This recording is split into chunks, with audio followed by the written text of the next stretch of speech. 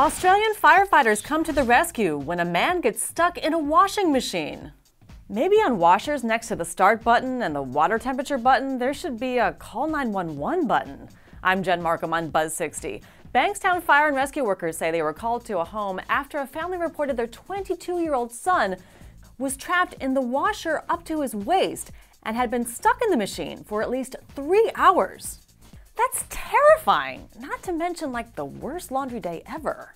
Firefighters described the rescue on Facebook as one of the most unusual jobs they've had.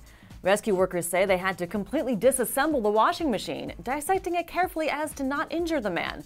And finally, an hour later, the man was freed and taken to the hospital as a precaution. And here I thought the worst thing about my washing machine was that I couldn't get the giant melted chocolate ice cream stain out of my beach bag. Don't ask. Buzz 60. Now you know, pass it on.